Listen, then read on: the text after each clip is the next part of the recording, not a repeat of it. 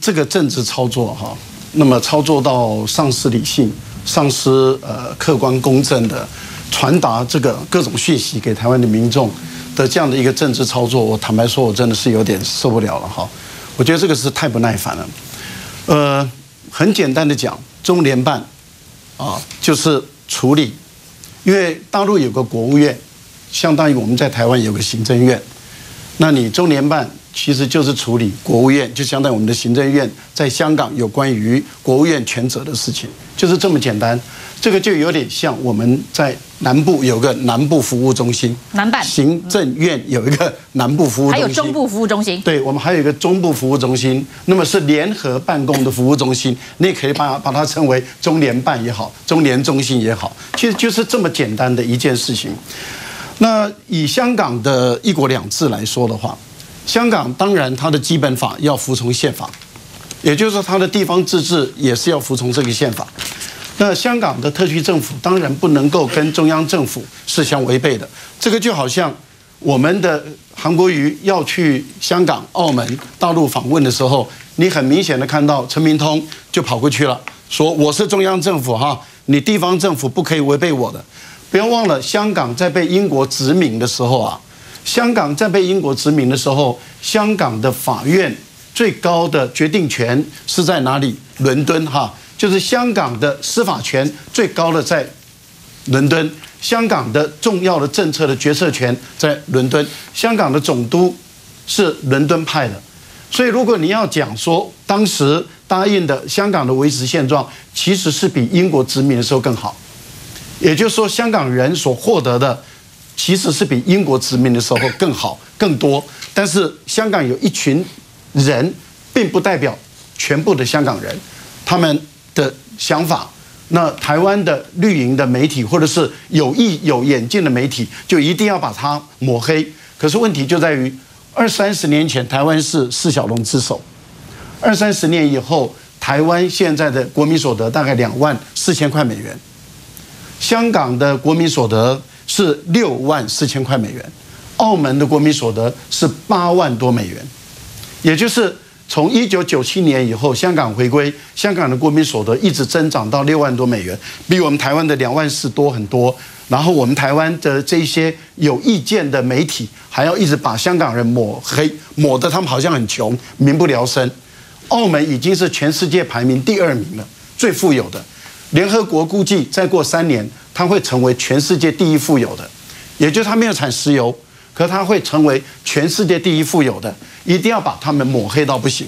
我觉得这个都没有必要。好，再讲到一国两制，那民进党一直反对一国两制，我觉得民进党没有说实话。民进党其实是骨子里最喜欢一国两制，他最赞成一国两制，而且他从头至尾都在肯定一国两制。为什么？民进党一直要把日本民台湾的时候的用的。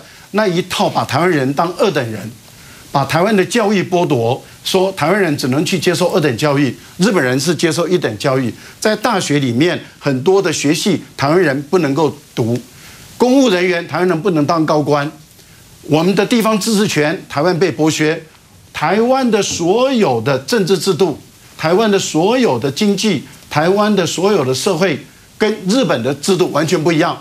日本殖民台湾的时候用的就是一国两制，用的就是一国两制，而民进党的很多的人一直朝拜，认为日据时代实在太完美了，有拍成电影的，有写小说的，有用科学文献的，也就是有在学术上发表文献的，把日本殖民台湾说的好到不行，美化到不行，是他最想要过的日子，那不就一国两制吗？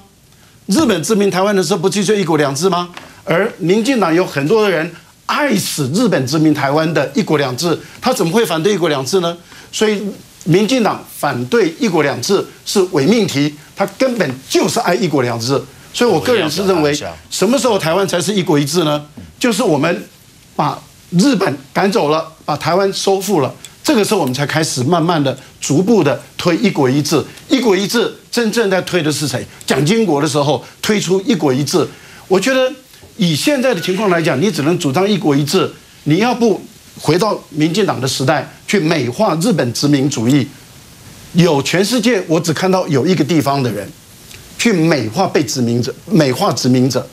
我觉得对殖民者，全世界都想办法要铲除殖民者的遗毒，但是就有一个地方爱死日本殖民台湾，爱死这个一国两制，不是就是一些民进党内那些哈日哈到不行的人吗？